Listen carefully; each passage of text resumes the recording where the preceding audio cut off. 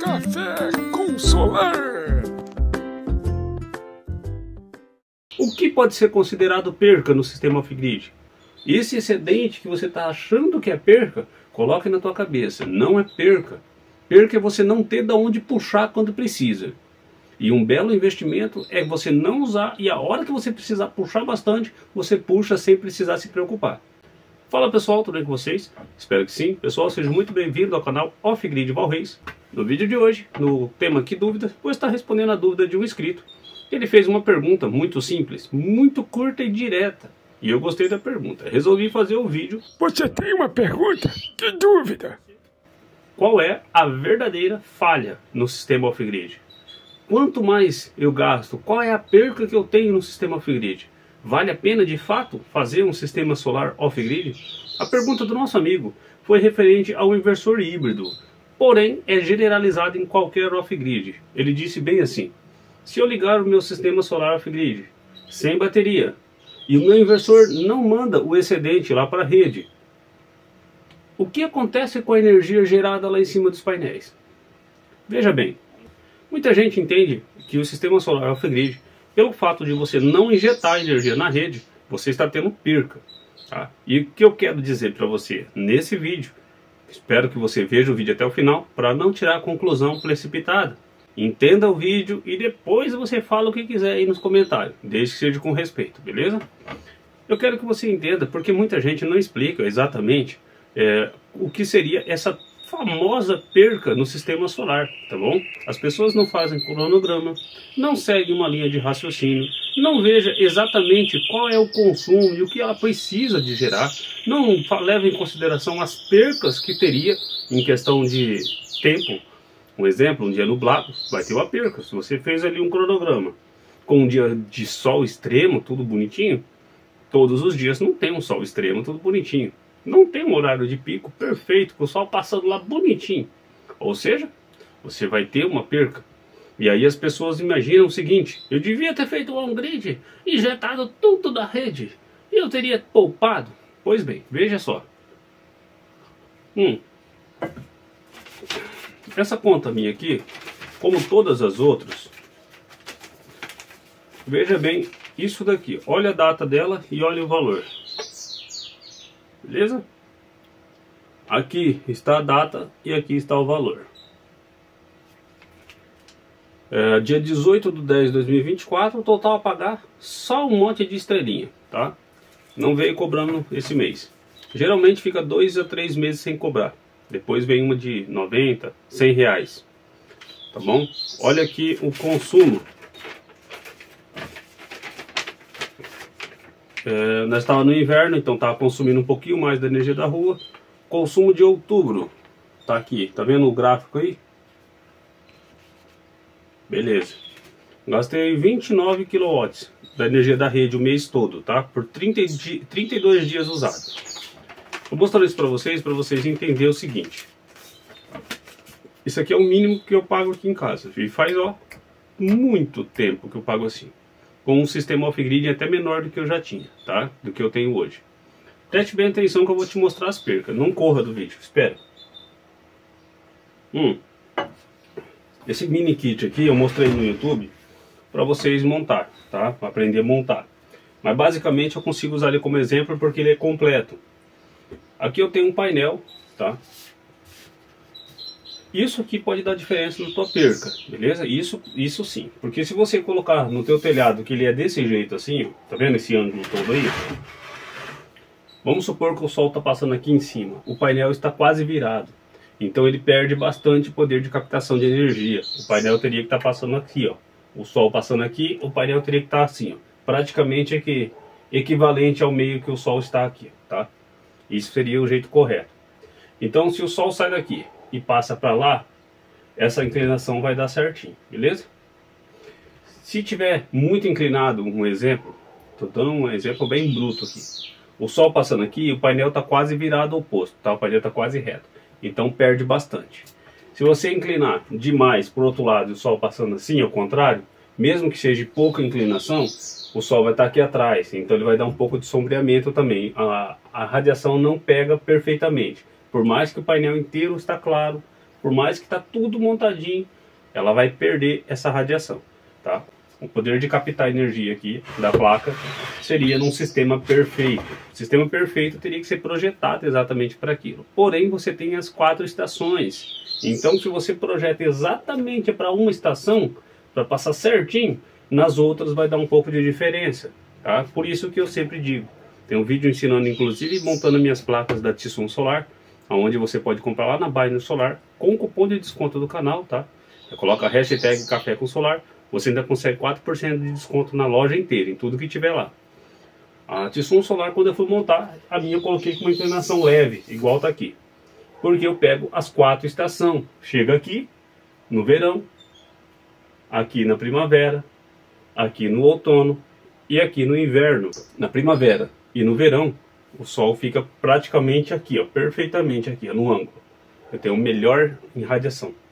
Porém, como ela está inclinada assim, e aqui no, no outono e no, no inverno, ela ainda tem esse leve, essa leve caída direcionada, eu também pego uma energia boa, tá? Tanto é que eu montei elas no inverno, justamente para pegar o ponto ali e ver a inclinação que eu ia precisar.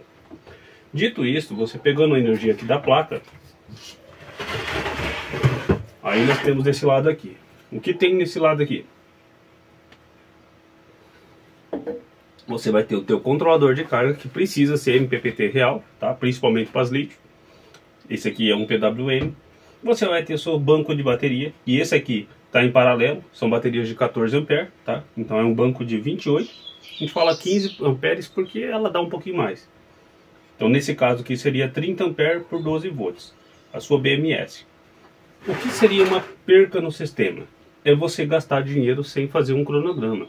Supondo que eu precisasse de energia somente para um backup, só para luz, coisinha bem simplinha. Aqui faltaria ainda o inversor para ligar aqui. O que, que vai acontecer? Um kit pequeno desse, ele vai me ajudar, tá? Agora, se você vai fazer na tua casa para um uso convencional, você já precisa fazer um cronograma, tá? E quais seriam as percas? Por exemplo, Vamos supor que nesse sistema aqui, que eu estou usando como um exemplo, eu coloque aqui um inversor, tá? Esse inversor, eu vou colocar um Tatariken de 600 watts aqui real, tá? Porque ele é 1600, mas na verdade ele puxa no máximo até 600, depois ele entra proteção. Vamos supor que está aqui. Como que eu conseguiria usar, um exemplo, 200 watts nele durante o dia? Preste bem atenção. Eu não conseguiria. Por quê? Porque eu não tenho painel para isso eu teria que tirar a energia da bateria. Se eu tirar a energia da bateria, eu não tenho painel para carregar essa bateria na mesma hora para que compense uma coisa com a outra. Então isso é uma perda. É colocar painel errado, tá? Por exemplo, esse painel aqui, ele é de 30 watts, beleza? 30 watts. Então qual seria o correto eu usar aqui? Eu seria o correto eu usar até uns 20, 20 watts durante o dia, 25 watts por hora. Entende? Por quê? Porque eu não tenho painel para poder suportar. Eu tenho bateria. Até 200 watts, 200 e pouco eu tenho aqui para puxar com essas baterias. Mas eu não tenho radiação suficiente para poder puxar. E se eu puxar durante o dia, eu tiro da bateria. Com um painel pequenininho, ele não consegue carregar a bateria a tempo antes que o sol vá embora. Entende? Então isso gera uma perca. Você monta um sistema que não é cronograma para tua casa e você não consegue usar.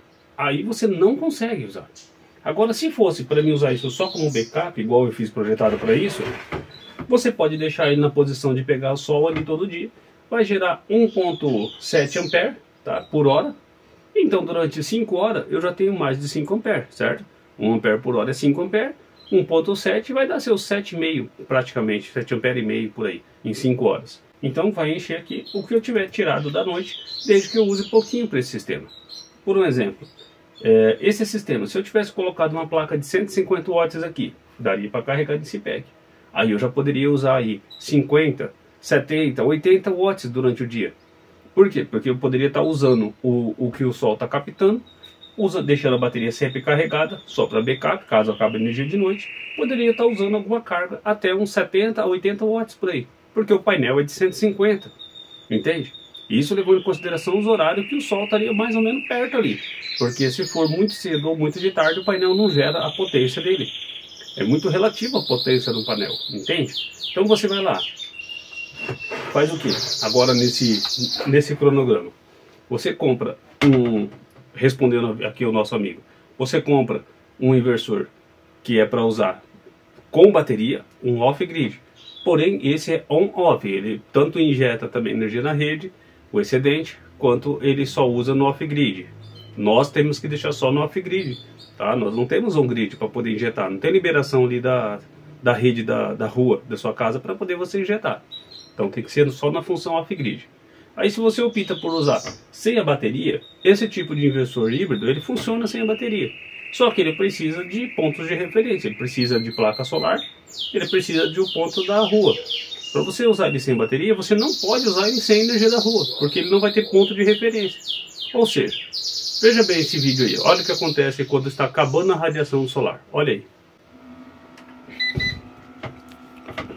E é por isso que você não pode usar o inversor apenas com energia da placa solar. Veja bem, a tensão está aqui, tá? Só que não tem energia nenhuma, tá? A tensão está em 76 volts, significa que não tem energia mais lá em cima.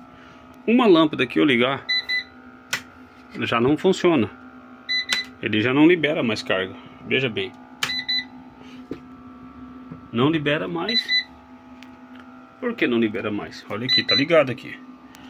Porque simplesmente a voltagem abaixou, a radiação lá em cima não tem nada nas placas.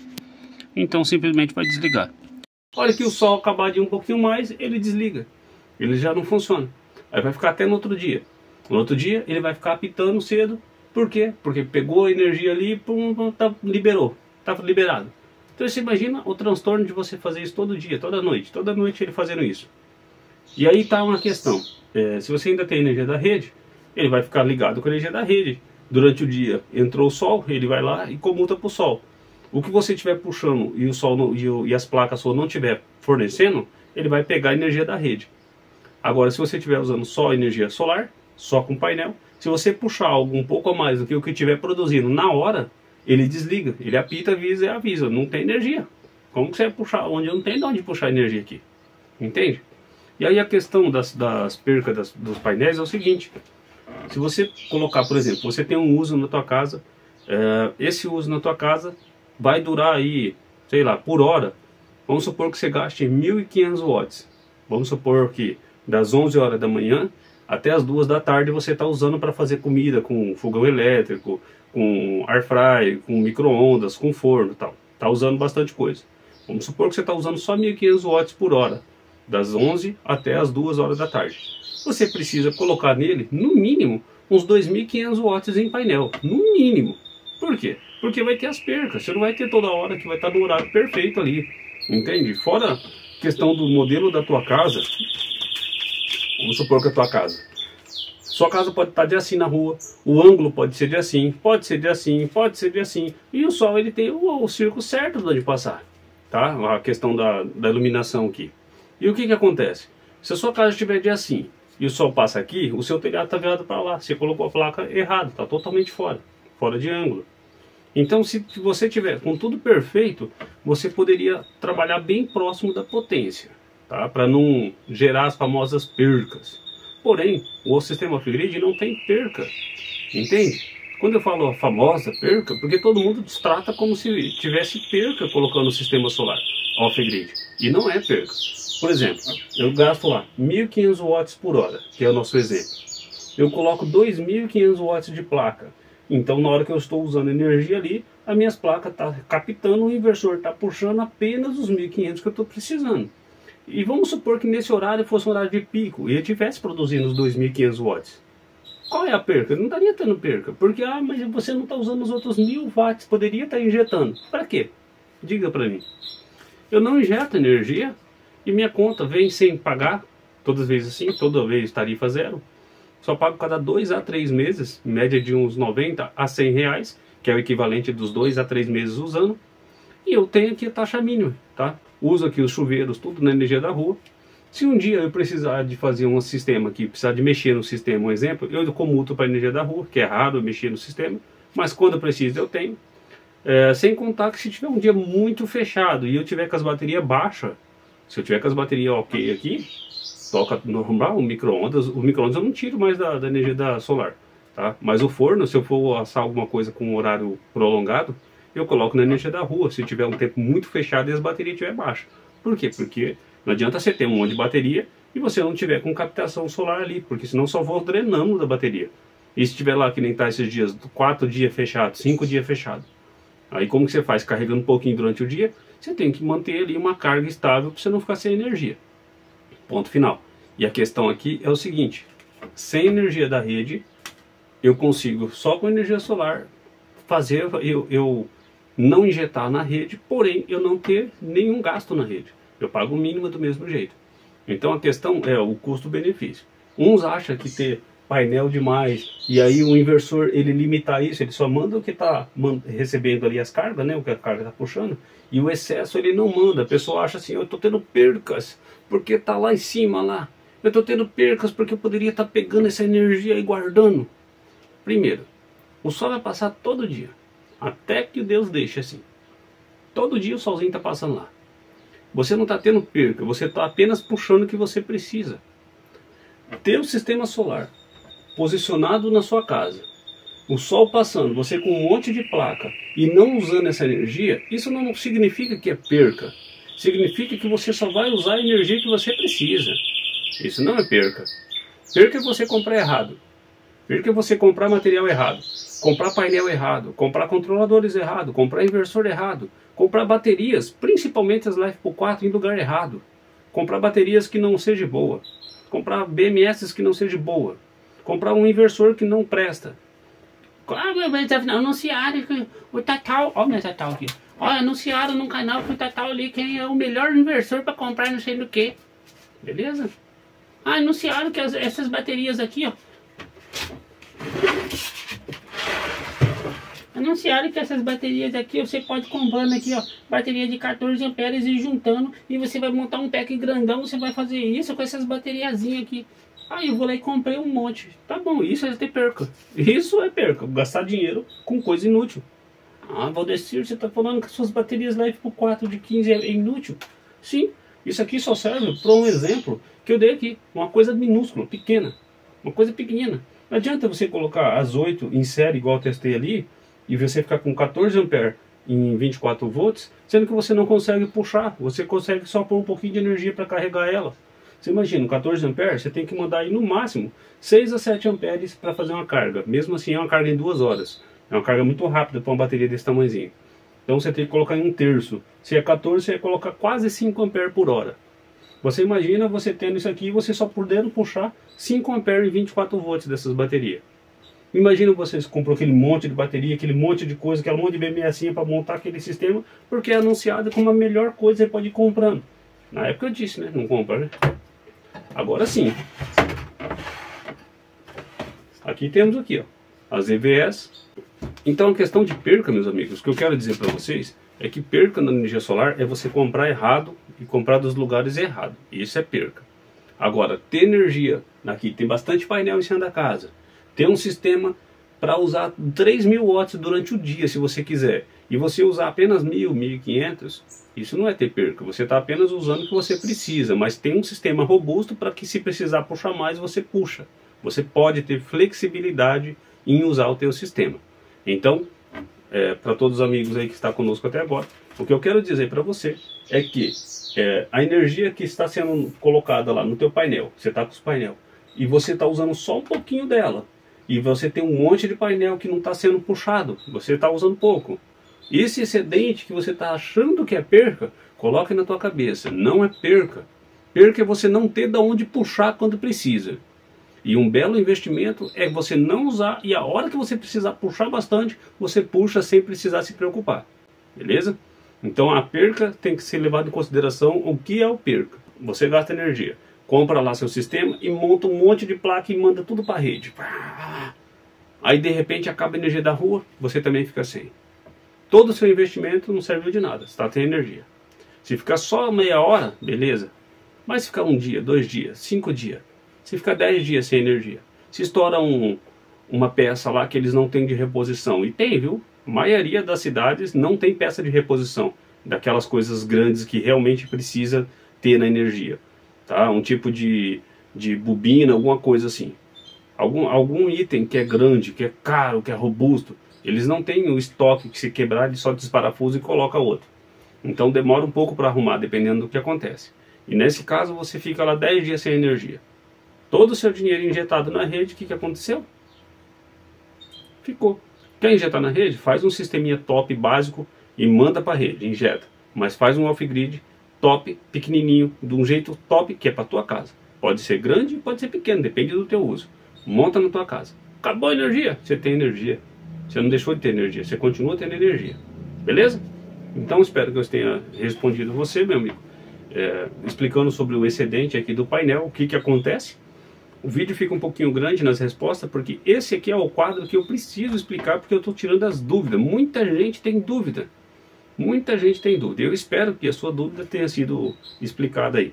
E você que não se inscreveu, não se esqueça aí de se inscrever no canal, curtir, compartilhar, que isso ajuda o canal a crescer e a ter mais pessoas aí conseguindo resolver os sistemas é, que elas têm, ou até mesmo de preferência começar a montar o sistema da melhor forma possível.